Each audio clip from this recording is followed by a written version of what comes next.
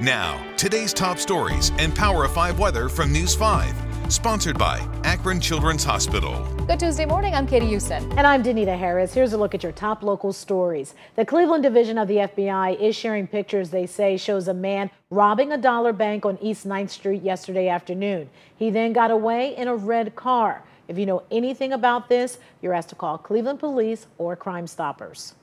Billboards are popping up around Northeast Ohio this week, bringing attention to National Healthy Lung Month. The Northeast Ohio Black Health Coalition is behind this campaign.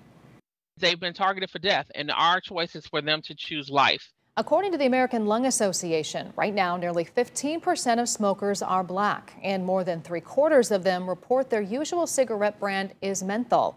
Now, menthol cigarettes have historically targeted black people, and advertisers advertising messages are targeting younger people as well.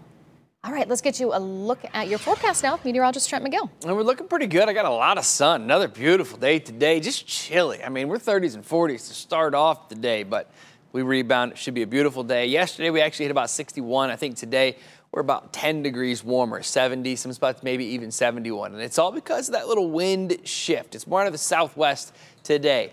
Clouds come back tonight, so not as cold early Wednesday, but eventually we got to start talking rain chances from those clouds. We'll talk about when that rain arrives and how much colder it's going to get after that. Sponsored by Akron Children's Hospital.